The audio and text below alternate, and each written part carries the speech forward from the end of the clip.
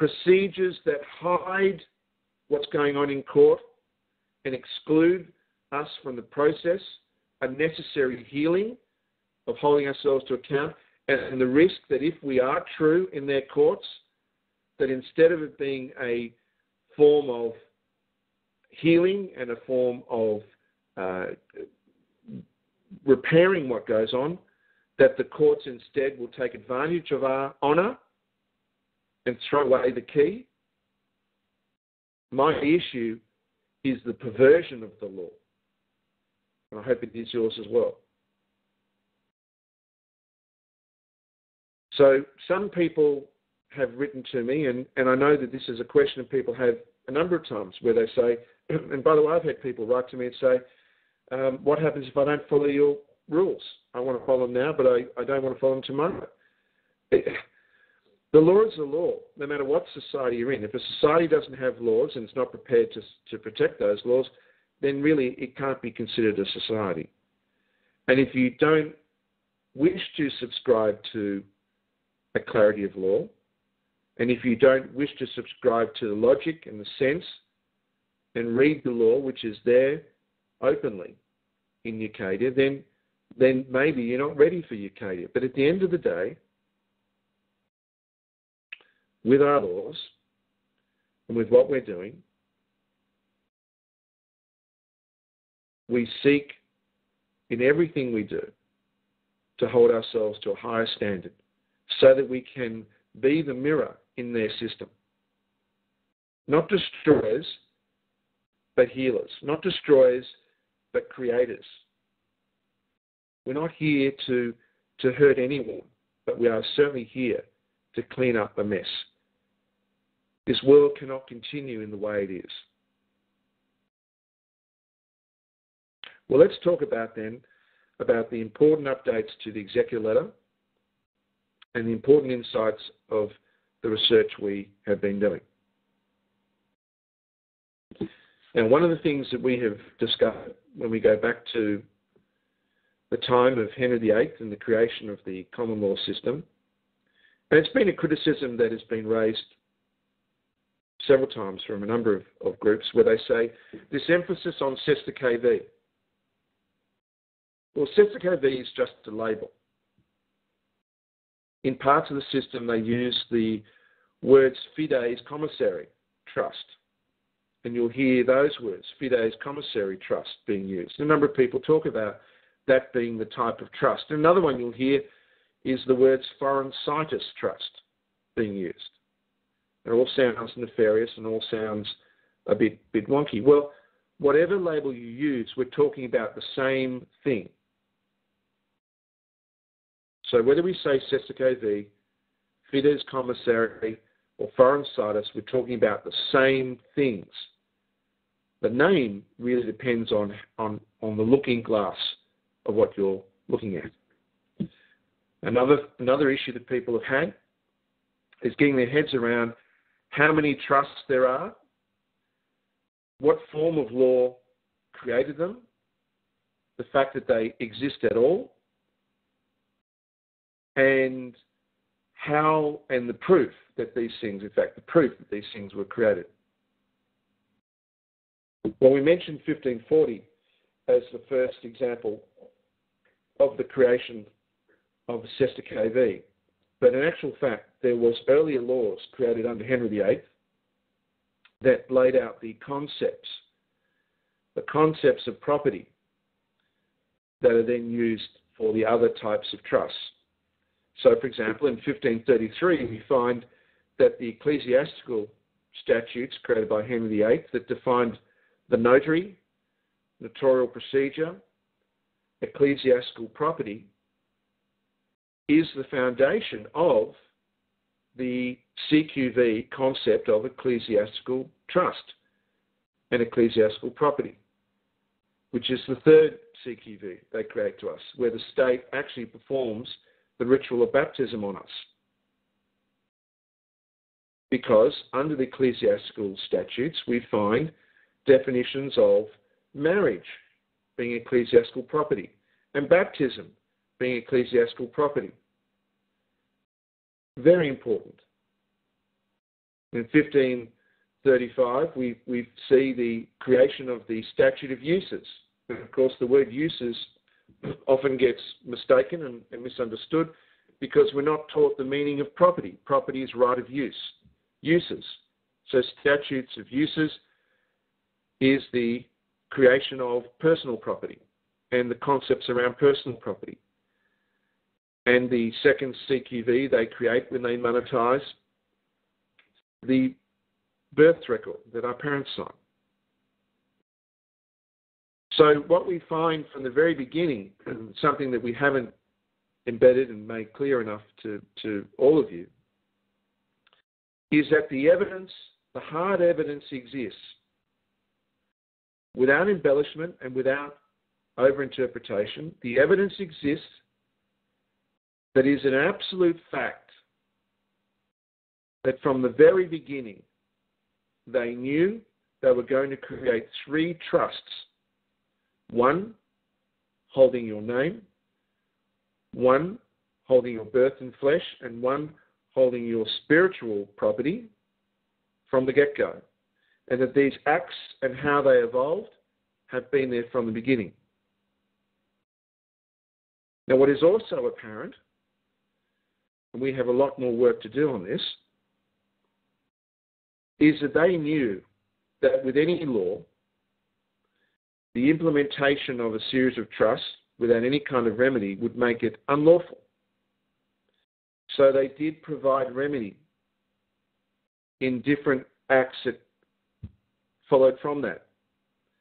That we have not yet, as I say, fully investigated, but we are, and I'm letting you know that we are working on this. And I'll give an example.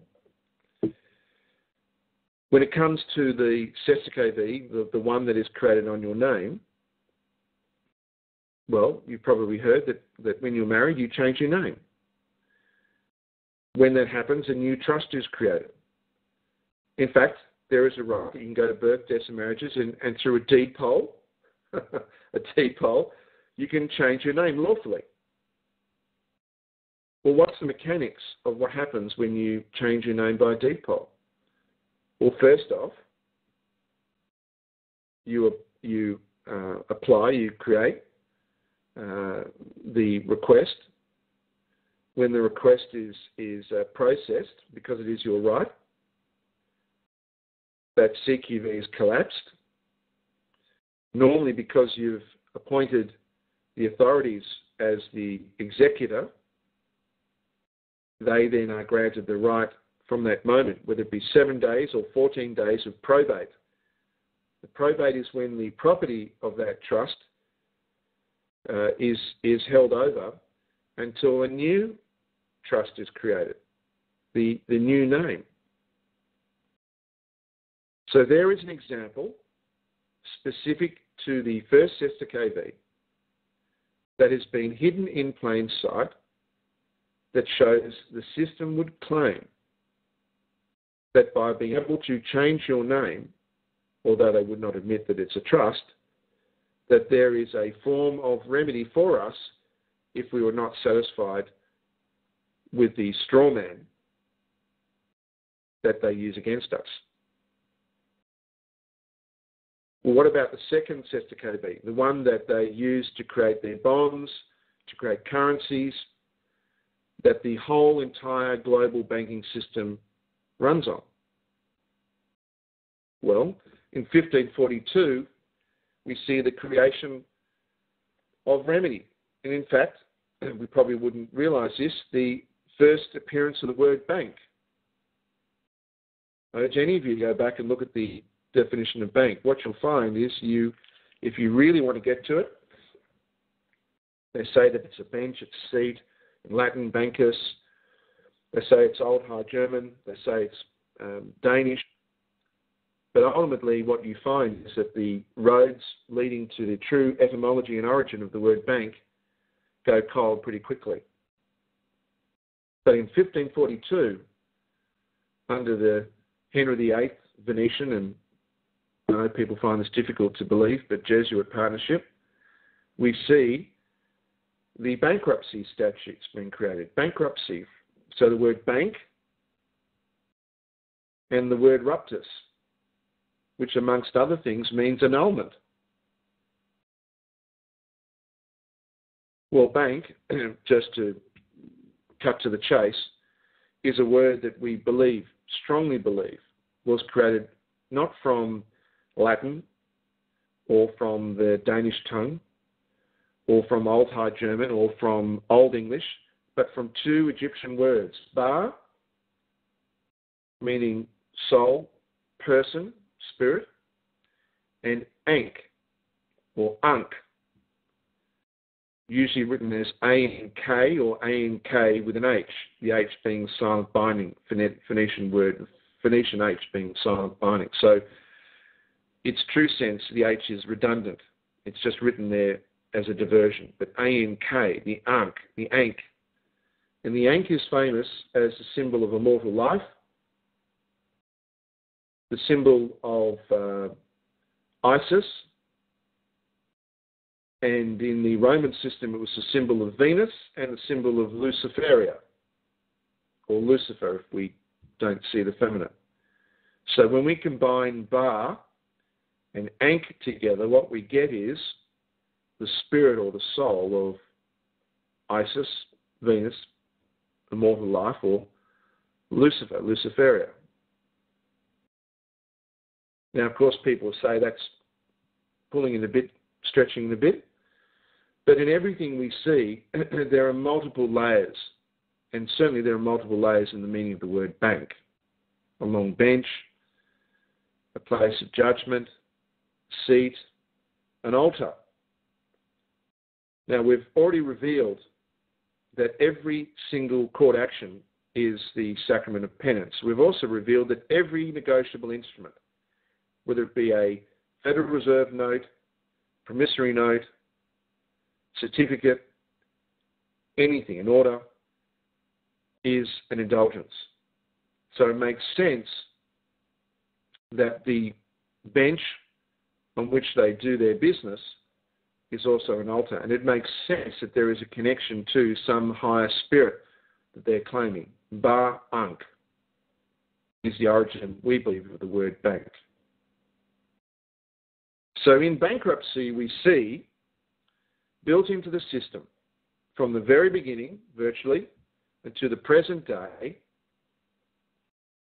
the ability to collapse the second Cestui Que Vie trust, albeit they don't admit that it's a trust, they don't admit the deeper assets written against it, but there it is.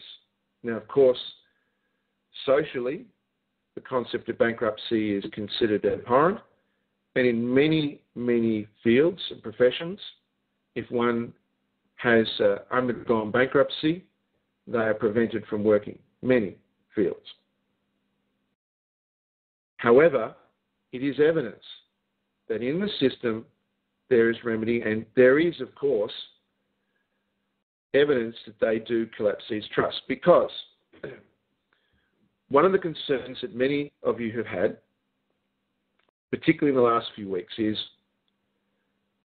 the EDP process has changed. Does that mean that there'll be more changes? Is this kind of like an endless chasing the tail? Is there no remedy at all in this process? Are we just looking at, I guess, you know, a road to nowhere? Is there any proof that the system ever collapses any trust? Well, yes, there is. I've just given you two change of name and bankruptcy. We have more to do and we have more to, to see and how this knowledge can be utilized, but we're far from wrong. And the work that many of you have done in producing your ecclesiastical deeds and claim of right is certainly far from wrong. Now let's talk about the executive letter, which I've been saying we'll talk about in the relevance of this information.